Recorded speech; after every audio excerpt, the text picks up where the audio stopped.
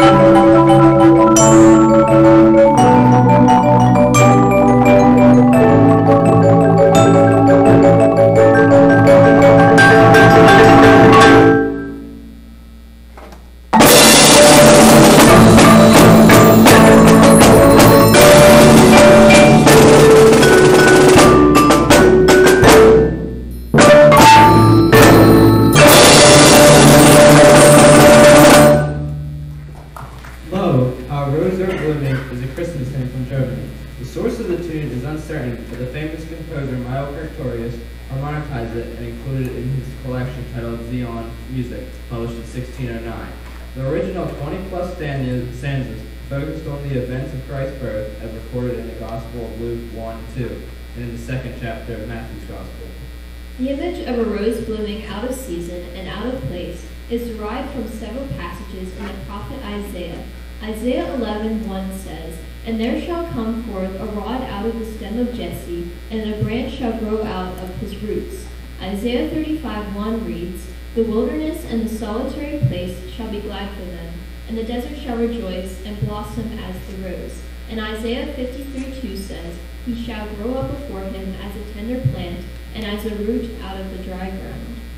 The picture of a beautiful rose flourishing in the midst of a harsh and hospitable environment became a popular image of the Messiah during the Middle Ages. Verses 4 and 5 highlight the blessings which are available to those who receive the Messiah. Verse 4 speaks of the salvation which the Messiah brings. This flower, whose fragrance tender with sweetness fills the air, dispels with glorious splendor the darkness everywhere. True man, yet very God, from sin and death he saves us and enlightens every load. Verse 5 directs our thoughts to the eternal blessings which await those who know him. O Savior, child of Mary, who felt our human woe, O Savior, King of glory, who dost our weakness know, bring us at last, we pray, to the bright courts of heaven and to thy endless day. Our arrangement attempts to reflect the simplicity, beauty, and the joy of salvation. It begins with a simple melody, but as each ver- new verse is introduced, the song grows in beauty and fulfillment until it climaxes in a joyous powerful ending.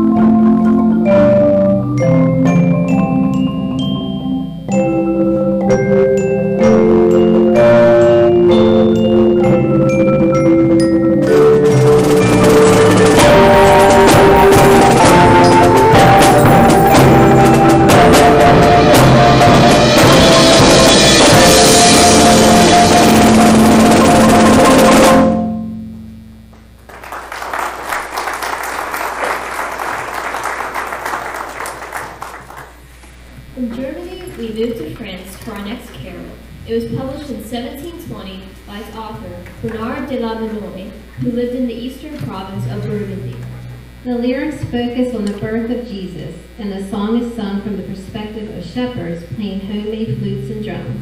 These instruments were often used in this part of France as accompaniments for folk songs and carols because of their festive nature. The opening verse says, Billy, bring your new red drum. Robin, keep your fife and come. Fife and drum together play. Pat a pat a pan. Laura Lorelei. Fife and drum together play on this joyous holiday.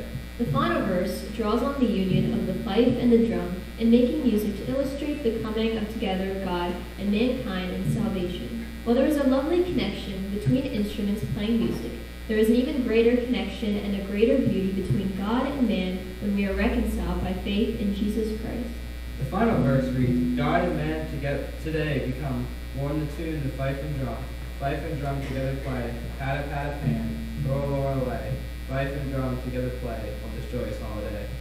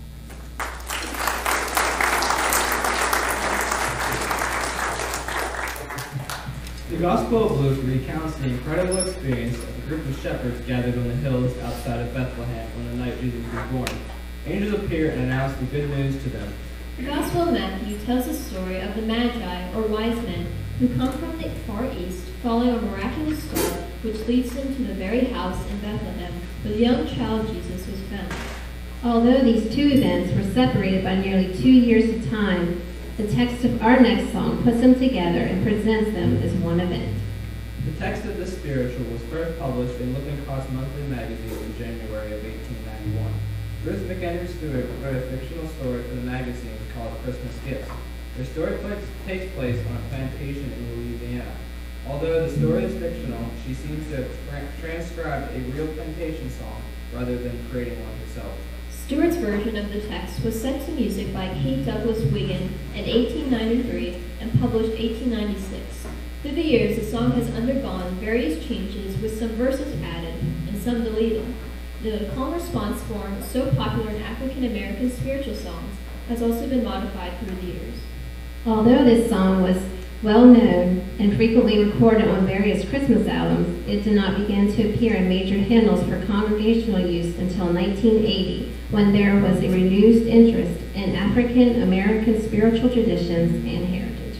The final verse, which is omitted from the most popular hymnals, is perhaps one of the most powerful, highlighting the importance of Jesus' birth for all who have lived in the 21st century. Listen to these words of invitation. Oh, that star still shines this Christmas day. Rise, O sinner, and follow. With an eye of faith, you can see its ray. Rise, O sinner, and follow. It will light your way through the fields of frost. Rise, O sinner, and follow. While leads to the stable, to the shining cross. Rise, O sinner, and follow.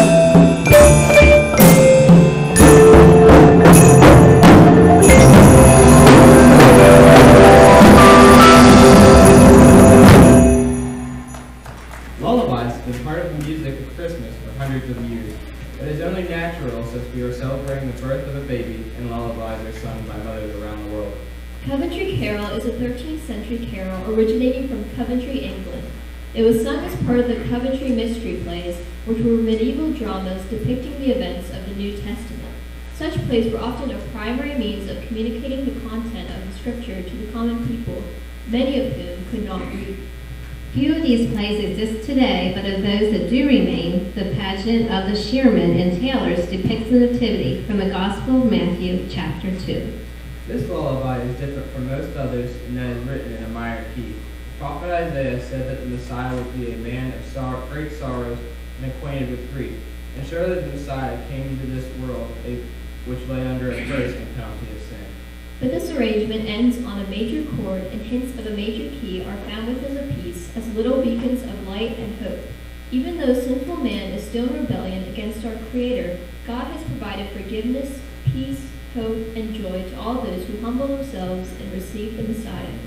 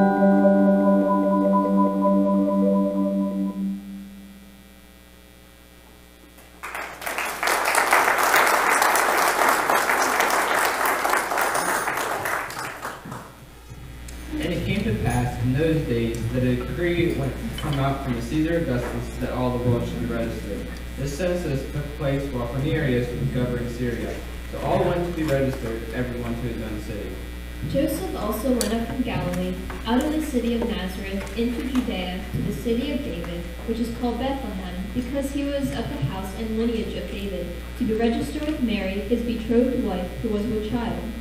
So it was that while they were there, the days were completed for her to be delivered. And she brought forth her firstborn son, and wrapped him in swaddling cloths, and laid him in a manger, because there was no room for them in the inn. In our mind's eye, we can only picture the scene. A dark, quiet night, stars shining brightly, the various of animals in the stable resting or making little noise or movement, all while the little Lord Jesus is asleep on the peg. Our next song takes two traditional lullabies, which we usually associate with the idyllic scene just described, and blends them together with a dash of excitement.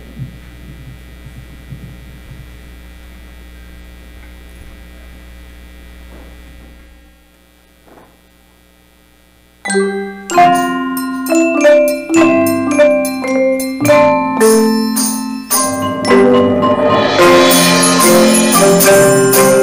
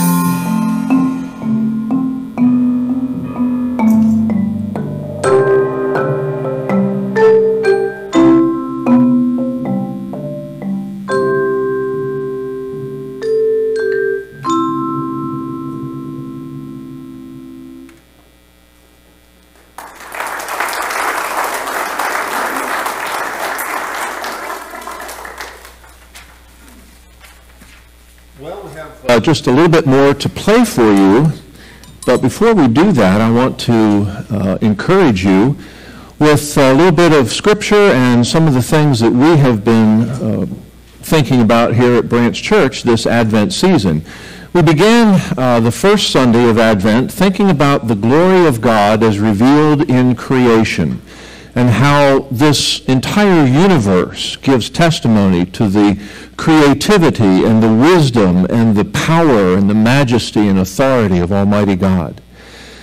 We also talked on the second Sunday of Advent about the glory of God revealed in the Old Testament and how God dealt with sin, the transgression of Adam as he disobeyed and ate of that forbidden tree. And God, though he could certainly have brought Adam to an end right at that point, uh, in mercy and grace did not, and provided a sacrifice not to take away Adam's sin, but to, to cover it, to make a way that there could be still fellowship between God and man. And all of that Old Testament sacrificial system and the prophets and so forth, all of them were pointing to the ultimate solution that God would provide for human sinfulness, and that is the coming of Jesus Christ, the Messiah. And so this Sunday we're thinking about the glory of God revealed at his incarnation. That's kind of a fancy term, incarnation. We don't use it every day. But it means coming in flesh. That God took on human flesh, shared our experience, died in our place, rose from the dead to offer salvation to you and me. Let me just read a few portions of Scripture that sort of set that in our mind. The first is from John chapter 1, the Gospel. It says, In the beginning was the Word, and the Word was with God, and the Word was God. He was in the beginning with God. All things were made through him, and without him nothing was made that was made. That word, word, is actually a title for the Messiah we use words to communicate, and Jesus is the ultimate communication of God to man. And in verse 14 it says this The Word became flesh and dwelt among us, and we beheld his glory, the glory as of the only begotten of the Father, full of grace and truth. And then in verse 18 it says, gives the reason why Jesus came. It says, No one has seen God at any time. The only begotten Son, who is in the bosom of the Father, he has declared him. You and I could never figure out, even from the glory and splendor of creation, we could never figure out God. God had to reveal himself to mankind. And throughout the ages of the prophets in the Old Testament, he was revealing himself more and more through Moses at the burning bush, and later on as he was leading the nation of Israel out of Egyptian captivity. God is revealing more and more about himself. But ultimately, God chose to come to this world as a baby, born in humble circumstances. Let me read from Luke chapter 2 beginning at verse 8. Now there were in the same country shepherds living out in the fields, keeping watch over their flock by night. And behold, an angel of the Lord stood before them, and the glory of the Lord shone around them, and they were greatly afraid.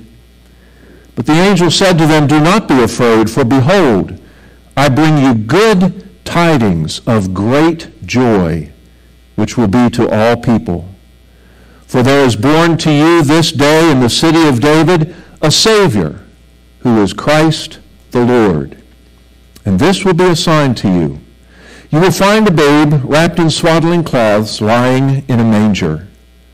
And suddenly there was with the angel a multitude of the heavenly host praising God and saying, Glory to God in the highest, and on earth peace, goodwill toward men.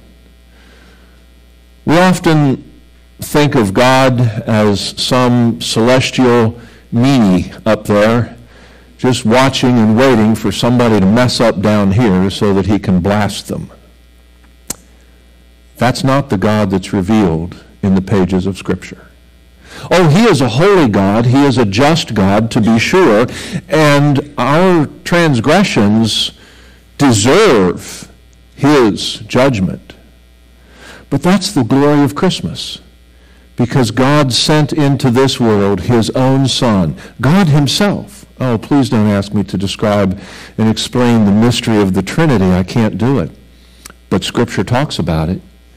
And since God is a being who is far greater and far bigger and far more amazing and wonderful than me or you, I'm not surprised that we can't figure it all out. But what we do know is that God left heaven and came to this earth and was born as a baby in the most humble circumstances. And he grew and he experienced life and he was absolutely obedient to the Father in everything. And where Adam failed, Jesus did not fail. And where Adam in his failure became the head of a fallen race, Jesus in his obedience became the head of a forgiven, a redeemed people. That's all of us who put our faith and trust in him. God did for us what we could never, ever do for ourselves. Jesus on the cross took our penalty so that we who believe in him might go free. And there's even greater news, better news at Christmas time. Are you ready for it? John 3:16, probably the most well-known verse in the scriptures. For God so loved the world that he gave his only begotten son that whoever believes on him should not perish but should have everlasting life. It's an open invitation, beloved. You come to God on his terms to be sure, but it's an open invitation to all people of all nationalities, of all circumstances, of all time. Beloved, I hope that you know Jesus Christ as your Lord and Savior, that you have a, a real reason to rejoice this Christmas season. But if you're here today and you've never come to that place where you've put your trust in Christ, where you've asked Him to forgive you of your sin and to make you His child, today is the best day to do that. We don't know how long we might have to live. As Jim mentioned earlier, tragedy is all around us. All around us. And we have no guarantees except the guarantees that God gives us in His Word. That we who put our trust in Him will be with Him in glory forever. Let's pray. Heavenly Father, we thank you so much for your goodness to us, for this incredible demonstration of your love and your mercy. And Father, I pray that you will speak to each heart here today. For those that are believers, encourage them, strengthen them in their faith, help them to realize that they have nothing to fear in this life because they know you.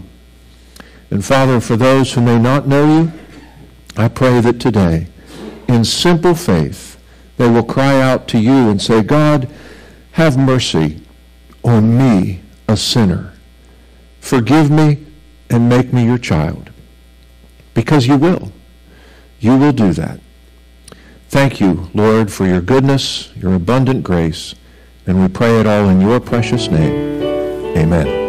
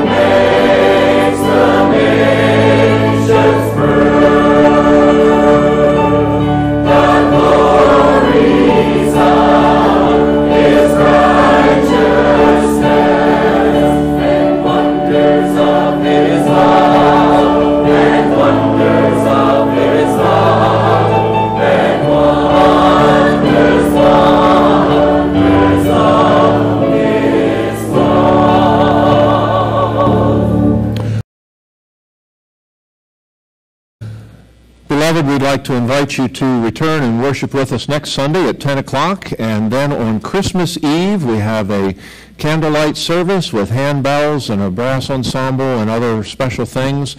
Uh, hope that you will be able to join us for that. And uh, I think you all maybe received some literature as you came in. So thank you for being here, and let's pray together. Father, we ask that as we go from this place, that your peace and your joy and the hope that Jesus Christ brings would rest upon each one of us. Thank you for your abundant blessings. Dismiss us now with your blessing, and may each one have safety as they travel home and a blessed, blessed Christmas holiday. We pray it in Jesus' name. Amen.